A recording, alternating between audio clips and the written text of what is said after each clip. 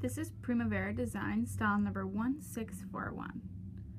It is a fun two-piece design that features sparkles throughout the dress, a high neckline, and a fun racerback detailing on the back. Please subscribe to our YouTube channel and like our Facebook and Instagram for more videos like this.